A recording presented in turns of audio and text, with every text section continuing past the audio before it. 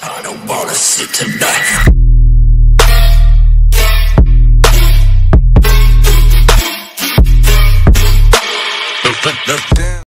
13日の金曜ロードショー。日本テレビ系午後9時は2004年に公開された映画デイアフタートゥモローローランド・エメリッチ監督を放送する。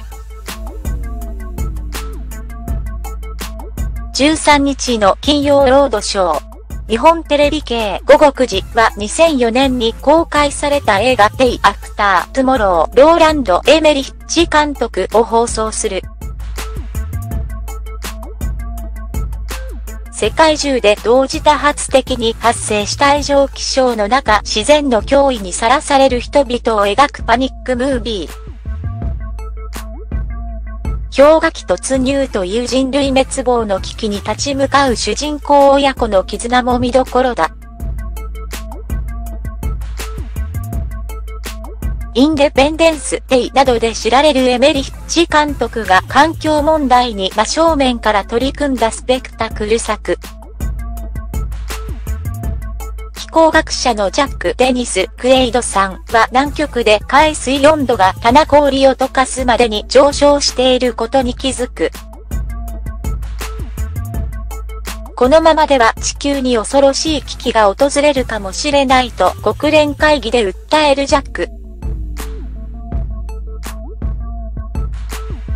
時を同じくしてハワイに巨大台風が襲来し、各地に巨大な氷が降り注ぎ、ヨーロッパは雪と氷で閉ざされるなど甚大な被害が発生する。一方、ジャックの息子、サム・ジェイク・ギレンホールさんは、同級生のローラ・エミー・ロッサムさんたちとクイズ大会に出場するためニューヨークを訪れていたが、大気の乱れの影響で全米の空港が次々と封鎖。翌日さらなる危機が街を飲み込みというストーリーが展開する。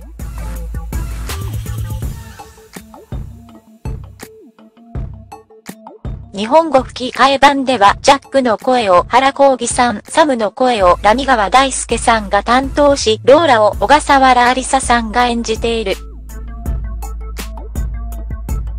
次週20日の金曜ロードショー。は人気ファンタジー映画ハリー・ポッターシリーズの第3作として4年に公開されたハリー・ポッターとアズカバンの囚人アルフォンソ・キュアロン監督を放送する。